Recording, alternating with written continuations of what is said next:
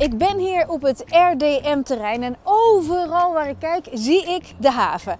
Mijn naam is Sophie van der Enk en ik ga er een podcast over maken. Achter de wereld die je ziet schuilt nog een wereld. De wereld van de slimme haven. En dat geheim ga ik ontrafelen.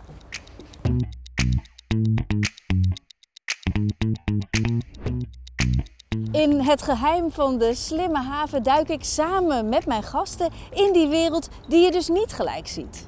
Hier in het Innovation Dock krijg je dan een klein beetje een gevoel hè, voor die verborgen wereld die ik dan ga ontdekken met mijn gasten. In aflevering 1 is dat Allard Kastelein.